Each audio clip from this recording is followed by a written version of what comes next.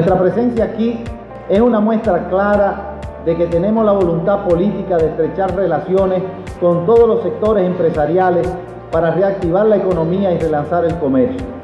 Como dice el eslogan de este Congreso, estamos unidos por la supervivencia del comercio y la MIPYME, aprovechando estos tiempos difíciles como oportunidad para impulsar el desarrollo de la República Dominicana como hermanos como un gran equipo. Muchas gracias y felicidades.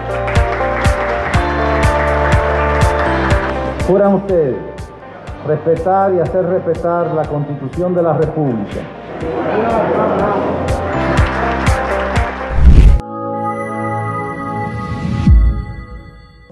Hoy visitamos Proagro Dominicana, una pequeña pyme que comenzó con una señora, su familia, la ha desarrollado y además ha sido solidaria porque lo que a ella le ha servido de soporte lo está aplicando.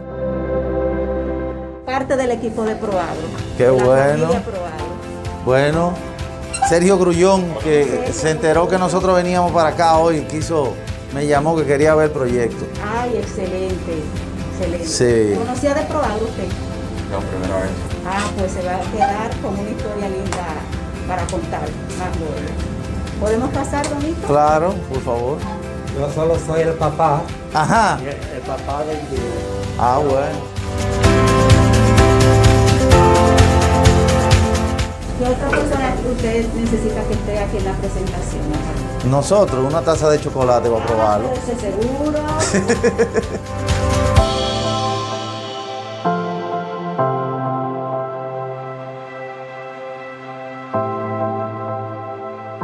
Fantino, mira lo interesante de esto. Este es el único empaque que de- desde el principio. Ah, mire qué bien. Tú ves que hemos ido a otro sitio Es- y no lo tienen. El ministro hablaba el otro día sobre la importancia de que los productos dominicanos se distinguieran. que Sí. Agregaran ese, ese distintivo como una especie de propósito de, de entre todos fortalecer la marca país y el, y el Correctamente. sentimiento de orgullo de las cosas de aquí. De verdad que, que interesante eh, que ustedes voluntariamente hayan asumido ese compromiso. pertenecer a la ruta industrial para nosotros fue eh, una idea una motivación que vino a través de un reportaje que el ministerio le hizo a la cartonera. Una pareja de esposos que la vimos nacer prácticamente como nació Proagro Dominicana. Y eh, en ese mismo momento llamamos a estas personas y compramos inmediatamente porque nos identificó totalmente la mística de trabajo con lo que nosotros hacemos.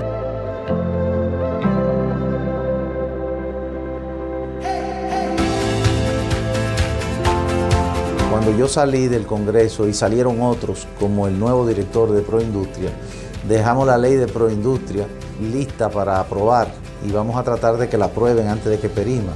Eso le va a permitir reinvertir sus utilidades libre de impuestos para las maquinarias. O sea que ahí tendrían ustedes un empujón importante. Claro que sí, así que esa inversión que ustedes hacen en maquinaria, en tecnología, en expandir la empresa, pueden eh, reportarle en el próximo periodo fiscal eh, y pueden obtener un descuento de hasta un 50% del pago del impuesto sobre la renta, No, pero qué buena noticia. aparte de otros incentivos.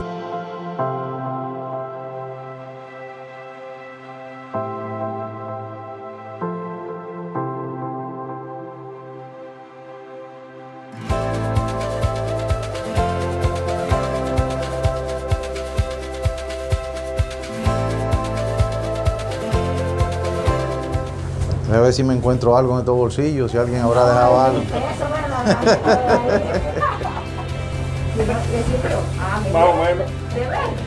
Está forzado, pero ella entró.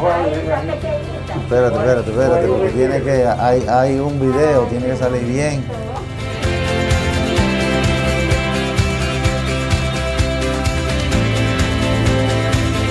Esas son de la caja que le están comprando a la señora. Compramos hace dos semanas. Mire una ahí. Agarre Sí. una de esas porque usted es el papá de esta caja. ahora Sí, sí. Y está bonita. ¿Eh? Bien. Mira, cierra bien. Sí. Increíble cómo como cerca de Noé. Sí. A esta hay que pegarle con un chisma de tape ahí. Mira, eh, hay que reforzar el techo. Ven que te voy a ayudar. Deja ver. Cuando visitamos a la señora que hacía la caja reciclable, ella lo vio porque nos daba seguimiento y le puso inmediatamente una primera orden de mil cajas que la vimos aquí ahora. Ya lleva dos órdenes de mil cajas.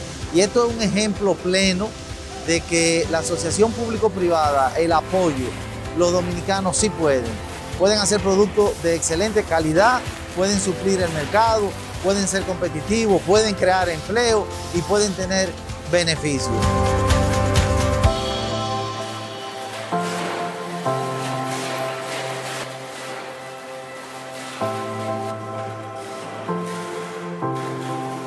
La mayor parte la tenemos aquí en la, unos 550 metros cuadrados tenemos entre la planta y lo que son las áreas de, de producto terminado y empaque.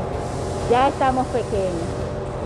Queremos irnos a unas naves y si, el- si ustedes nos pueden recomendar alguna nave que esté dentro de un parque industrial que nos ayude a bajar el costo.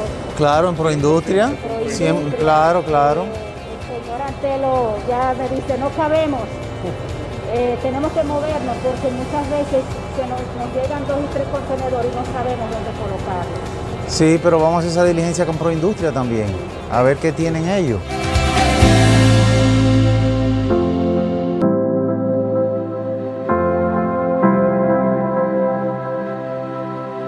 De verdad que nos honraron mucho con su visita. Siga haciendo ese trabajo que usted noblemente ha emprendido, esta ruta industrial. eh, para nosotros nos llena de mucha esperanza. El mismo gobierno del cambio nos reanimó. Fue Sí. como agua bendita que nos cayó y, y tenemos expectativa de que las cosas tienen que mejorar.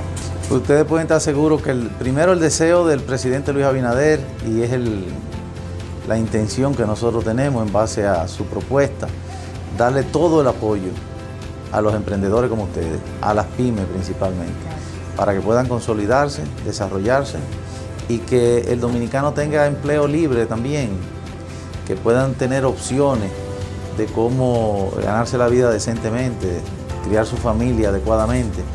Y por eso también hemos venido hoy aquí, por el ejemplo de éxito, de perseverancia y porque además una mujer, madre, ¿verdad?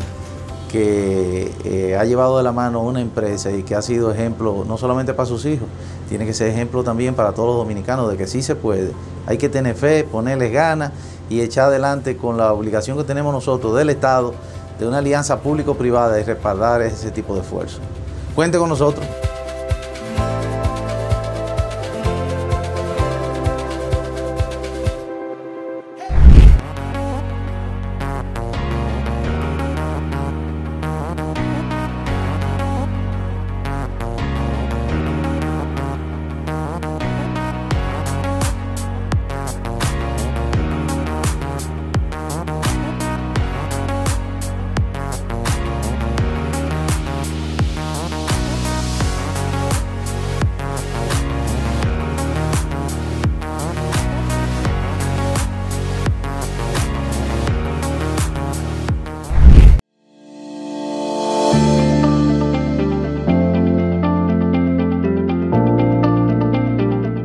Este consejo es la instancia del más alto nivel para el fomento de la calidad en la República Dominicana.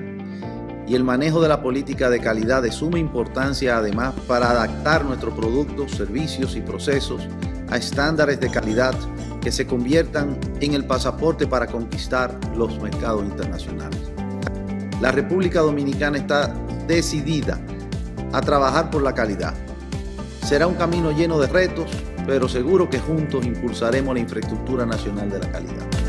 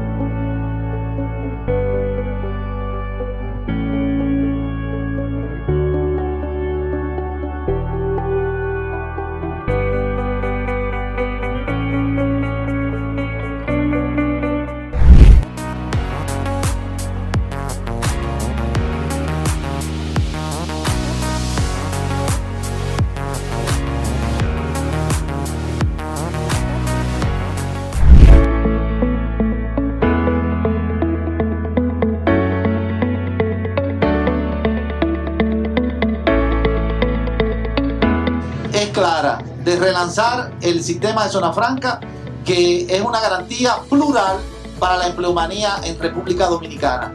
Y así seguiremos trabajando en todo el territorio nacional en la búsqueda de la meta de los 600 mil empleos que ha prometido el plan de gobierno del presidente Abinader y del cual nosotros estamos comprometidos.